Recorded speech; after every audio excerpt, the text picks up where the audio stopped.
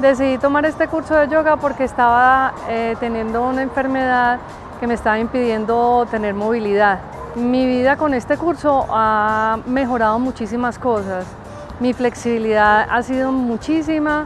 Eh, he encontrado que no hacía ciertos movimientos era debido a los miedos, ya puedo hacerlos.